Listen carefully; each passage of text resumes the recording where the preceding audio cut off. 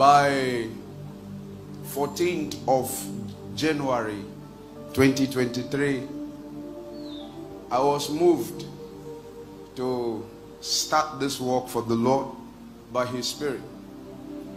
But I knew something was missing in my life. And no matter how I fasted, no matter how I prayed, there was that glaring indication that there is a missing puzzle. There's a missing piece in the puzzle. And I had to start laboring to find that piece. the first time I wrote to daddy, daddy read my message. And he said, I will respond to your letter after 10 years. I said, Daddy, sir, show clemency. In 10 years' time, I will be 40 something. he sent me an emoji and said, 10 years. I said, Jesus. I said, Daddy exempt me from this 10 years principle. They didn't answer me again. Then wisdom ministered to me. If you wrong an elder, you don't write letters. So I had to carry my beloved wife and we went on a journey. And when daddy saw me, like a prodigal son, he opened his hand.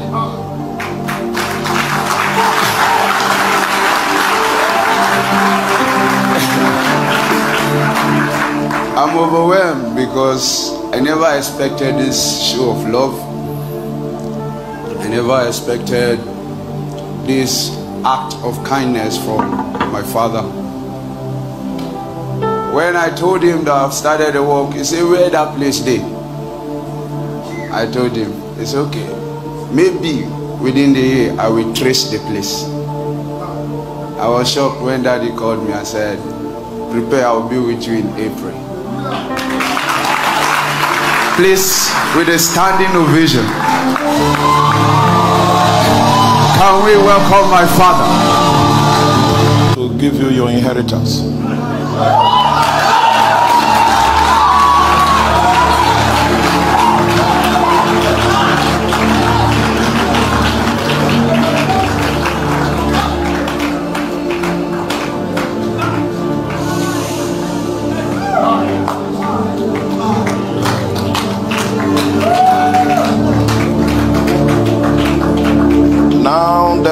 Church that was at Antioch certain prophets and teachers as Barnabas and Simeon that was called Niger and Lucius of Cyrene and Manaen which had been brought up with Herod the Tetrarch and Saul. And as they ministered unto the Lord and fasted, the Holy Ghost said, Separate me, Barnabas and Saul, for the work whereunto I have called them. And when they had fasted and prayed, they laid their hands on them and sent them away. So, being sent forth by the Holy Ghost, departed to Seleucia, and from thence they sailed to Cyprus. Hallelujah. The story of the book of Acts of the Apostles cannot be adequately told except we see the two the two pedestals of the sending ministry. Reduce my volume a little on this microphone. The first set of apostles were dispatched by Jesus himself, and Peter was notable among that company. What was happening in the book of Acts was that God was beginning to move his headquarters from Jerusalem and to move to Antioch. But in order for Antioch to come to that stature, that point of ranking where they can send men forth. There was an upgrading that had to take place in order for that apostolic house to send men forth in the name of the Holy Spirit. If you check the council of Antioch, you will notice something about that council. The first council that was established in Jerusalem, every member of that council was a Jew. The difference about this council in the book of Acts, chapter 13, verse 1, is that you find a man called Lucius.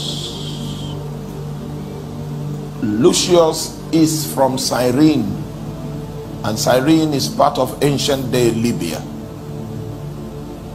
The thing about this council was that it captured the continent of Africa. apart from Acts chapter 8, where Philip began his ministry and had encounter with the Ethiopian eunuch, the next mention of the continent of Africa was Lucius.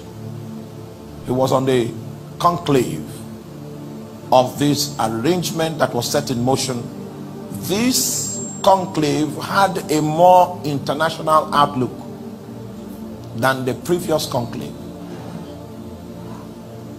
The thing about Judaism was that it was meant for the Jews. The work of God in the New Testament was supposed to be a universal and a global initiative. But because of issues of conceptualization the apostolic trust that was in Jerusalem had a deficiency because they could not see beyond the district of the Jews until persecution